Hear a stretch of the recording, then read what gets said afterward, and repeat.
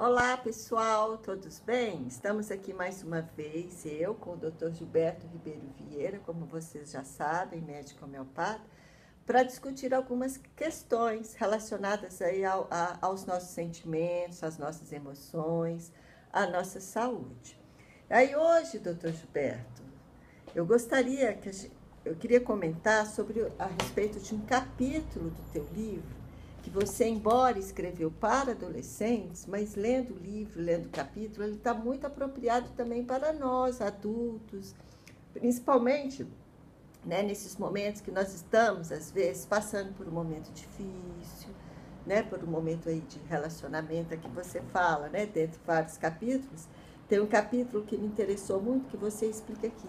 Quando terminar, ou seja, quando uma relação não está sendo satisfatória para ambos ou para um do, dos envolvidos, né? Você fala aqui sobre quando terminar. Então, eu gostaria de saber, né, qual é a sua dica sobre os relacionamentos e quando a gente deve terminar um relacionamento.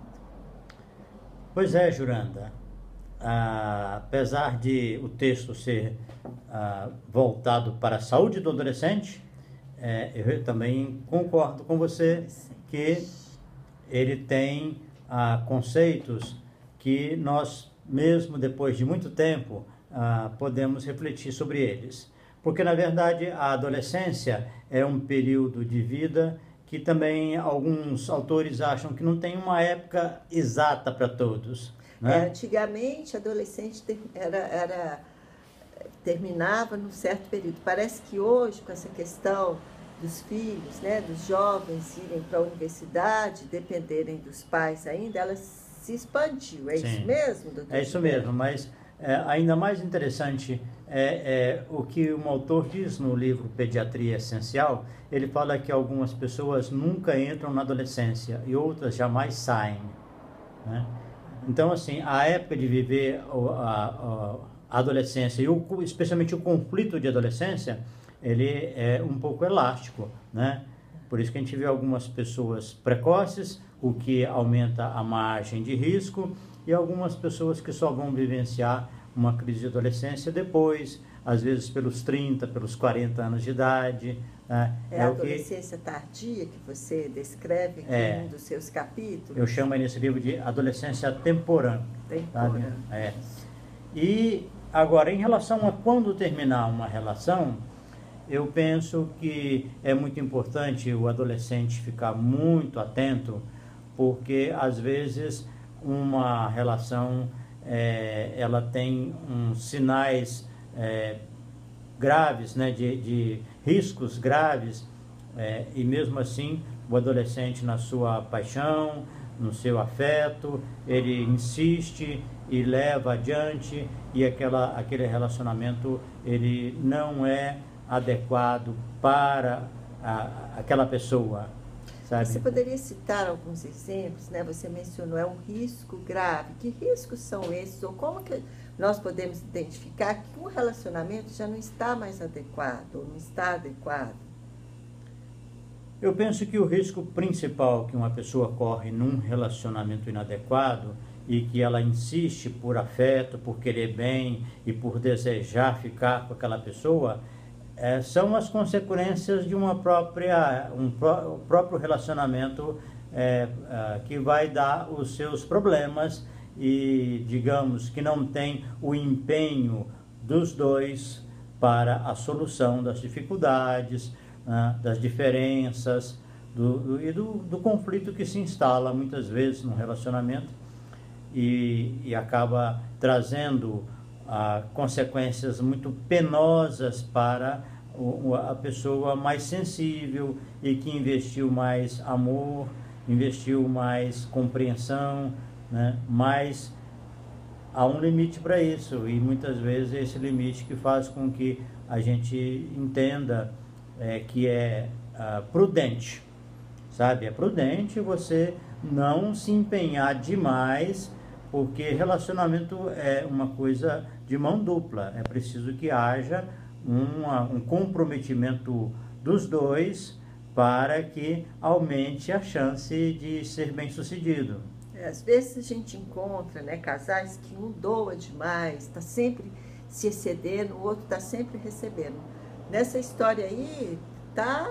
Como que você vê essa questão? É, eu vejo que esse é um exemplo bem típico, né? Sabe, que já é um indicador da, da para que se ligue o, o, o alarme, sabe? Quando é só uma pessoa que batalha, ou uma pessoa que faz as concessões, né? Está se doando, é. né? Por isso que tem um ditado que eu, eu ah, também coloquei em algum lugar, tá?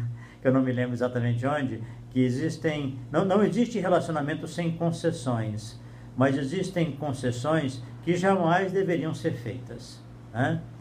A concessão que você fere ah, os seus valores, as suas crenças. Sua né? autoestima. Né? Ela é um, é um sinal de que sua autoestima está precisando de uma lanternagem, sabe? É. Quer dizer, então, assim, a gente pode dizer que um relacionamento saudável é onde as duas pessoas somam, né? Um auxilia o outro na mesma proporção a crescerem. Então, ele é saudável quando as duas, os dois indivíduos, né? Os envolvidos estão bem naquela relação. Eles podem até ter conflitos, terem atrito, mas um está fazendo as suas concessões uhum. pelo outro, os dois estão com os mesmos objetivos. Sim, exatamente. É isso? É. No livro Evangelho Dialético, é, eu coloquei, tem um capítulo voltado para esse mesmo tema. Então, assim, ele, ele tem mais, ele tem um desdobramento, tem um, uma análise mais detalhada do que esse aí que está no livro Adolescente sabe? É, que algumas pessoas elas colocam exigências para o outro que ele não aceita para si mesmo, sabe? Não aceita equivalentes, né? Ah, e, e cria restrições cretinas para o outro, sabe? E se o outro aceita, a, a relação está num caminho assim ruim, ela vai não apodrecer. Saudável, né? Ela, tá no caminho não saudável. ela vai apodrecer e vai gerar muito problema. Né? Por isso que é, é muito importante. Aí no caso eu falo com adolescente assim, olha bem se vocês estão discutindo as coisas e estão tomando decisões que elas são compartilhadas e há um rodízio. Por exemplo, você escolhe qual filme nós vamos assistir esse final de semana. Da próxima vez que formos ao cinema, é minha vez de escolher. Né?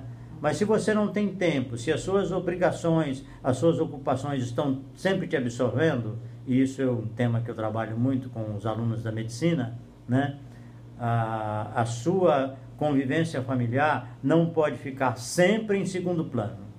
Existem momentos em que você tem que colocar o seu trabalho em segundo lugar e cumprir com certas obrigações, né? com a companheira, com o companheiro e com os filhos. Né? Certas, a, certas datas, né? uma festinha de aniversário de um filho na escola é imperdível, sabe?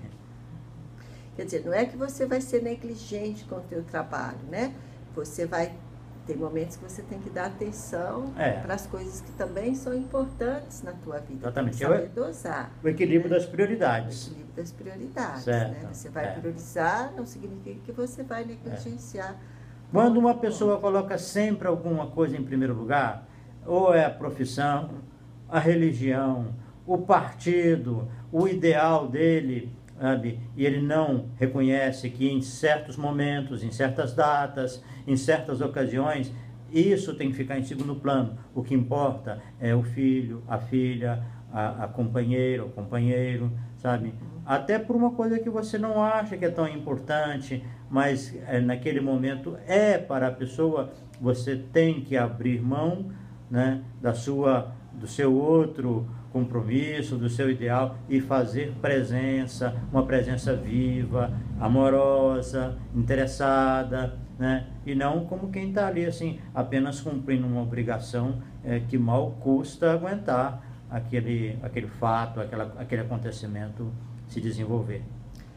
Desrespeitar a si mesmo ah, para que uma relação se mantenha, a não ser que isso seja em caráter experimental, não seja por uma coisa muito grave e que haja depois uma, ah, uma, uma colaboração, uma, uma devolução, né? do, do outro, demonstrando que ele também se empenha do mesmo jeito, é, com alguma coisa semelhante, uma coisa equivalente, para que a relação perdure. Muito bem, doutor Gilberto, muito obrigado pelas informações. E ficamos aí até a próxima, né? Para a gente discutir. Eu acho que isso é um tema muito importante, questões dos relacionamentos, porque eu acho que entra também a questão da autoestima, do amor próprio, do autocuidado, para que a relação também tenha bons resultados. Mas aí, pessoal, fica para a próxima. Com certeza. Então tá. Até mais, gente. Um abraço.